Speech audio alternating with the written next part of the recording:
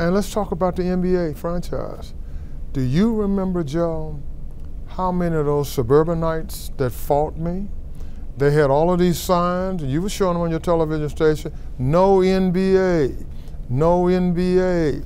And they said, Herenton, well, he must be losing his mind. If we want to get a team, why don't the billionaire pay for it? And I simply said to them, when you get a professional sports franchise, it's a partnership.